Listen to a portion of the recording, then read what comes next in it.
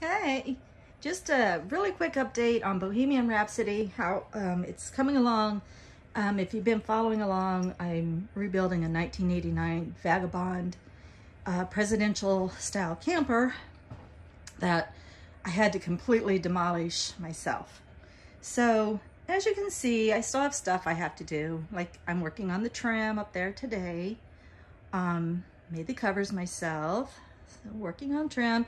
I do hang stuff occasionally um, for inspiration because if I'm just out here working all the time by myself and trying to figure something out and trying to figure out how I want to do something, I need inspiration. So not trying to justify, no, I don't have to justify, but I do decorate as I go just for inspiration.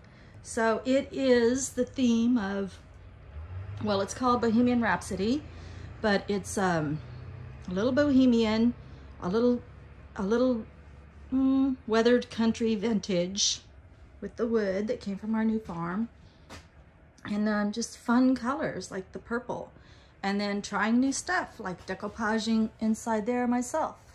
All of that is gray weathered wood, but that's decoupaged. And then that's gray weathered wood from the actual property that we bought. And so as you can see, it's coming along. I'm really thrilled with the colors. And uh, yeah, it's gonna be a little bit of wicker furniture. Not a whole lot of furniture in here, so I'm kind of going minimalistic. Still have stuff to do. I'm not crying anymore when I'm out here. Um, some things I've discovered about myself is um, I can pretty much do anything I set my mind to and not trying to toot my own horn or anything, but I don't know anything about construction as it shows in certain spots, but I can overcome it. I can run a power tool. Um, some things I've discovered about um, building something like this is size really matters when it comes to screws. I don't know how many times, and I don't mean to sound naughty when I say that. I'm talking about actual screws. I have to go back and forth and back and forth and back and forth to the hardware store for the right saw blade or the right size screw or the right drill bit and it pays to have sharp tools. It pays to have the right tool. Safety matters. And slow down and think ahead. Like I didn't think ahead right there. I should have thought ahead. I should have made that board shorter and that one come all the way out. I didn't think ahead.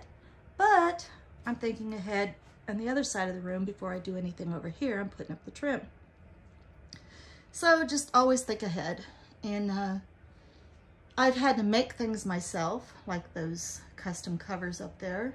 I just have to, like the wall switch plates, like I'm gonna make them. And um, I want something that holds my solar light in the window. So once I put the boards up, I'll make a holder. Um, just fabricate stuff. I can't find the right size frames to hold those window panes right there. So I had to buy aluminum and I have to fabricate it. I have to make it.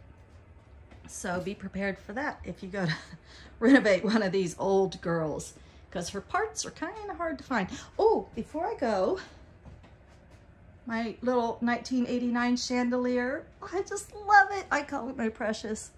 It is just that, uh, what's that stuff called? Lycra?